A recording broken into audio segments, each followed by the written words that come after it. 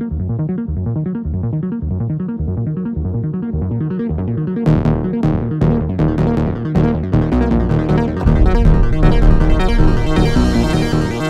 was about a year ago when we made a video about the Aputure LS 600D Pro.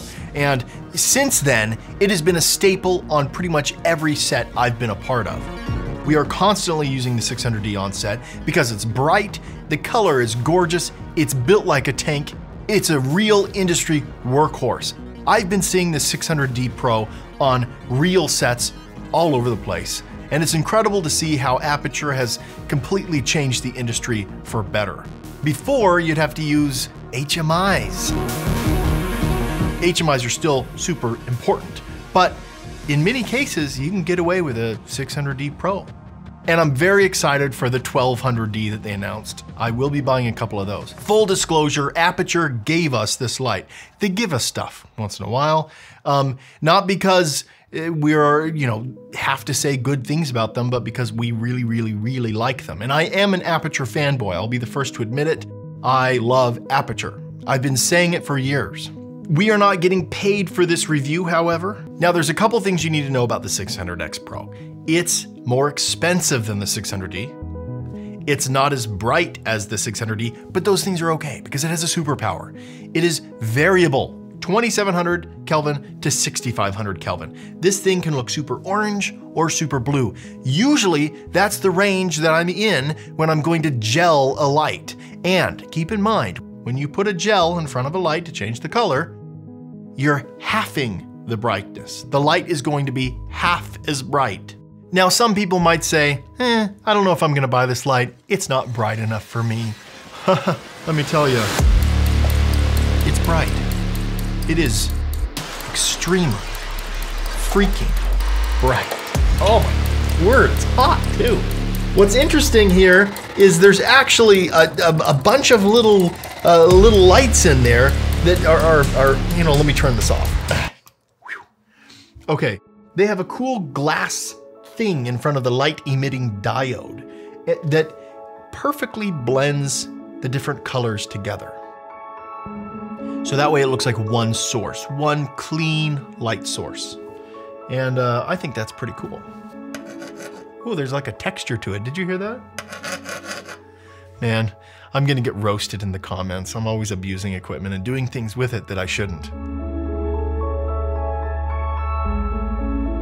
There's reasons why I want a variable light. One, to match existing light sources, to match the sun, because when the sun gets lower and if I'm filming outside, I'm gonna wanna turn that light to be a little bit warmer. And then also, if I'm lighting a scene, say indoors, and I want a warm sunlight coming through, I would use this light. In terms of uh, the body of the light fixture and the ballast, they haven't really changed all that much. Just like they did with the 300X, they've included this cool like hatch pattern, like a carbon fiber pattern on the body itself. I don't know if that's real carbon fiber or if it's just a pattern. Somebody out there in the comments let me know. I don't care either way. Uh, it's strong, it's well made. It looks a lot like the 600D, except it's a little bit more squarish. The ballast, same thing, just like the 600D ballast, except the top has this carbon fiber pattern. It's built like a tank. This is made to be used and abused, put on the grip truck, thrown in the back of the car, and used for years to come. Or thrown off the roof of your house. Or we could throw it off the roof. No. Now, I did have a gripe uh, against the 600D uh, for one reason. And the number one gripe was that this cable that goes from the light to the ballast was fairly short. This one, however, seven meters long. Because a lot of times with these lights, we're putting them way up and we want the ballast at the base of the stand so we can get to it. Much better this way. Again, just like all of their lights, for a long time now, this thing has built-in lighting effects. You can get to it on the ballast, uh, it does paparazzi and all these other cool modes, which I never use because I'm not weird. The menu on this ballast is very nice, and um, one thing I like is when I'm turning this very slowly, I can actually control the light in very small increments. Now, one thing that is interesting is if you want this thing to be fairly dim, it's hard to do. This is the dimmest the light can be. I wanna shine this light through the kitchen window and set up a little shot and see what this looks like being warm, you know, like a warm sunlight feel. Now, what we've done is we've placed the 600X outside and it's shining through a window. Come here. Now, what this light is doing is it's simulating the afternoon sun. We've placed this light at 4,000 Kelvin because to my eye, that seems about right.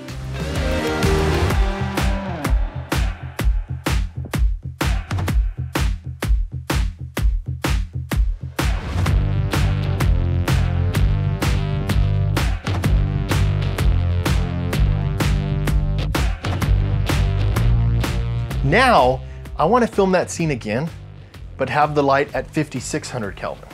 Now, this is what a normal 600D would look like without a gel.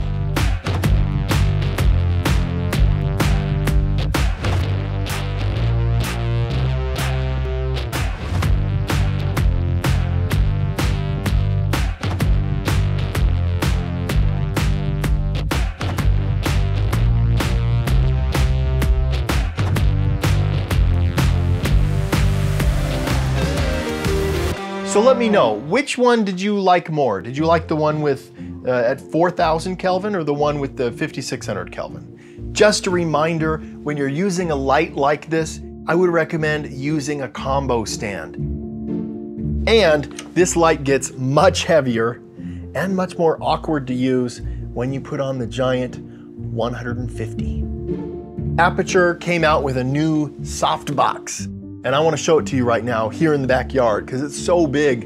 I don't really have room for it inside right now. It's just the one of the biggest soft boxes I've ever seen. It's huge. What do you what do you think of this? Oh, freak.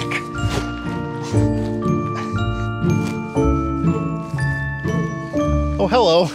Okay, here's another problem I have with this thing. Aputure. I've said it before, I'll say it again. Figure out some way that these will actually fit together. See this problem here? That's a lack of fabric. If the fabric was a little bit longer, they need to be able to just go around to close this.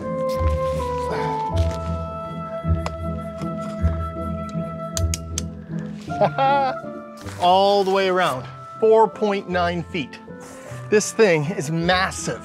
Let's go ahead and turn this thing on.